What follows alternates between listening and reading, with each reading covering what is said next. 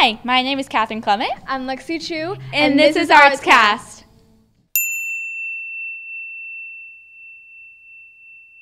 Today we're interviewing the architect of the Dallas food landscape, Dean Fearing. As the owner of Fearing's Restaurant and the author of the Texas Food Bible, Dean Fearing has led the Dallas food scene for almost three decades.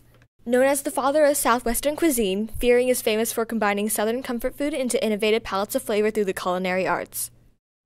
My dad was in the business. My dad was in the hotel business, and I started as a young cook and fell in love with cooking and stayed with it and went to two culinary schools. I went to a local junior college that had a culinary arts program in Louisville, Kentucky.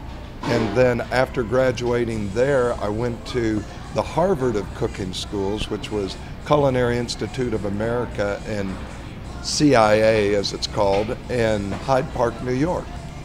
When I started in the industry, cooking was all gourmet, and that meant it was all French cooking, Italian cooking, and continental cooking. Then I broke out here in Dallas in the early 80s and started a new style of cuisine called Southwest cuisine that had a lot of influence of Texas, Mexico, grilling, smoking, and wild game. Texas is like a melting pot. We have Mexican cuisine to the south of us, we have Louisiana cuisine to the east of us.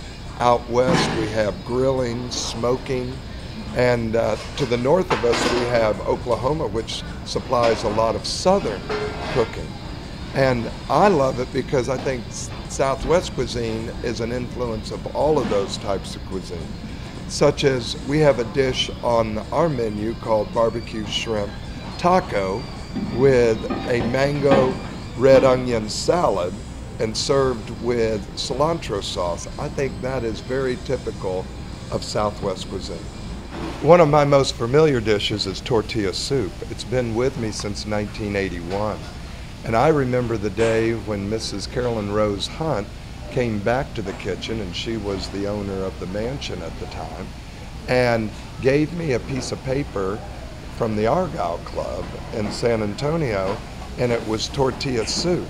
And we were a French restaurant at the time, and she said, I want a local soup on the menu so that people will know they're in Texas.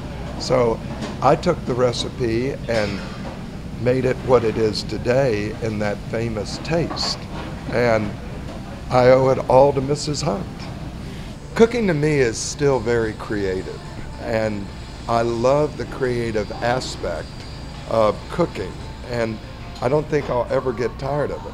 Plus, I love to eat. How is cooking an art?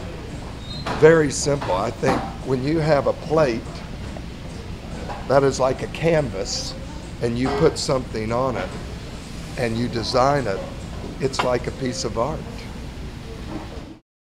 Food is the only art that we experience with all five of our senses. Fearing is credited for changing and shaping the landscape of food in Dallas with his unique creation of Southwestern cuisine. For more videos and arts and entertainment news, visit HockadayFourcast.org. I'm Katherine Clement. And I'm Lexie Chu. See you next time on ArtsCast.